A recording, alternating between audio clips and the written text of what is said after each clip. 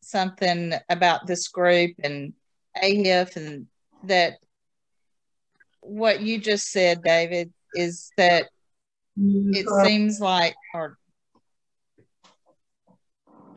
it's important to know that you're not the only one. And that's what this group is it specializes on for me is that I'm not the only one. Things that strange things that pop up, you realize, okay, it is part of the head injury. Because there is again, there is no manual. So you have to talk to people to understand things.